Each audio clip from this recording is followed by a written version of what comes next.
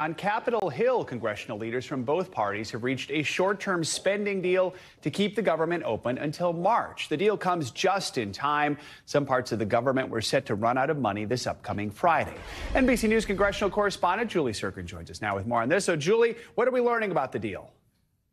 Yeah, hey, Joe, good morning. Well, this is going to be structured effectively the same as that last stopgap government funding measure that took us into these two deadlines, the first of which you point out coming this Friday. So basically, that moves that deadline, January 19th, uh, to March 1st, and then it moves the second deadline that would have been hit February 2nd down to March 8th. That's keeping that structure intact because some of those hardline conservatives in the House took Johnson at his word that he would not pass another short term spending bill. They are nervous that the Senate, led by Democrats, could jam them with a big omnibus spending package. They want to make sure that House conservatives know they're still going to pass these items in two different buckets. So this is good news, averting that deadline potentially coming up at the end of the week, but they still have to get an agreement to pass it in the Senate and the House, and that inclement weather will certainly make that tricky with lawmakers set to return tomorrow night, Joe. Yeah, so Speaker Johnson held a call last night with House Republicans to discuss the negotiations. Do we at this point have any indication on whether he'll have the votes needed from his own party to get this passed before Friday's deadline?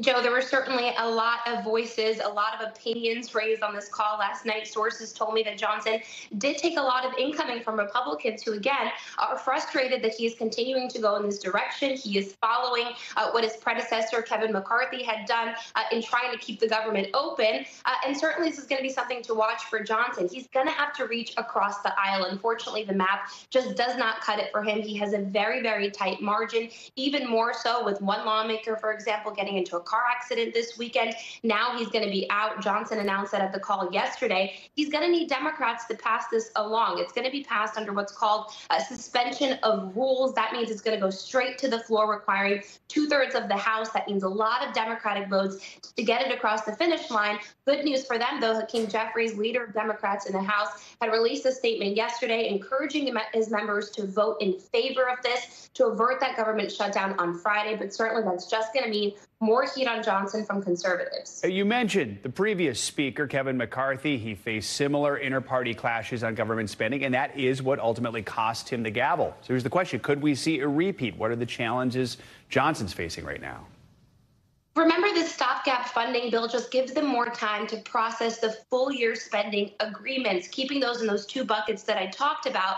But that just means that he's also going to need Democrats to vote uh, to pass that top line spending bill, $1.6 trillion. They're going to divide them up. They're going to pass them in a series of bills. But we already heard from a lot of conservatives last week saying they're going to vote against it. They want Johnson, for example, to pair it with HR2 with border security. He said, no way, that's not happening. Keeping that link with Ukraine instead. But he's going to have to rely across the aisle. And like you mentioned, Kevin McCarthy had to do that, and it cost him his job. So far, though, Joe, people are willing to give him a chance. I spoke to a handful of conservatives on Friday, for example. While they are criticizing Johnson, they say they're not willing to go as far as to threaten his job just yet. We'll see what happens as the months continue. But we also ended Friday with Johnson saying he's going to keep that top line agreement intact. He's not going to go away from it. And certainly that's going to anger conservatives. All right. Julie Tsirkin. Julie, thank you so much. Thanks for watching. Stay updated about breaking news and top stories on the NBC News app or follow us on social media.